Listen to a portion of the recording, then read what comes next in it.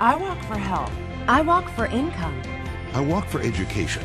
Saturday, October 2nd, join NBC4 New York, Skanska, and United Way of New York City for the Live United Brooklyn Bridge Walk and Volunteer Festival. Register today